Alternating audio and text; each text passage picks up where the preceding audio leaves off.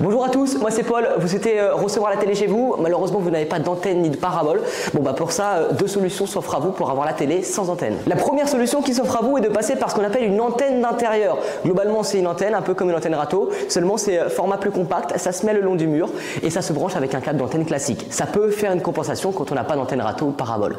Et la deuxième solution possible et envisageable, c'est de passer par ce qu'on appelle une passerelle multimédia. Ce sont des petits boîtiers connectés à Internet qui vous permettent d'installer des applications, dont une en particulier dont on va parler. Pour l'exemple, on va utiliser les Mi TV Stick et les Mi TV Box de Xiaomi. Ces boîtiers sont ce qu'on appelle des passerelles multimédia. Ils existent sous différentes versions, en Full HD, en 4K ou avec des processeurs plus puissants. Dans tous les cas, pour les trois produits, le fonctionnement est le même. C'est une box connectée à Internet qui vous permet de prendre les applications que vous voulez afin de profiter de votre contenu. Pour notre sujet, une application existe, elle s'appelle Molotov TV. C'est une application française qui vous permet d'avoir la TV gratuitement par Internet.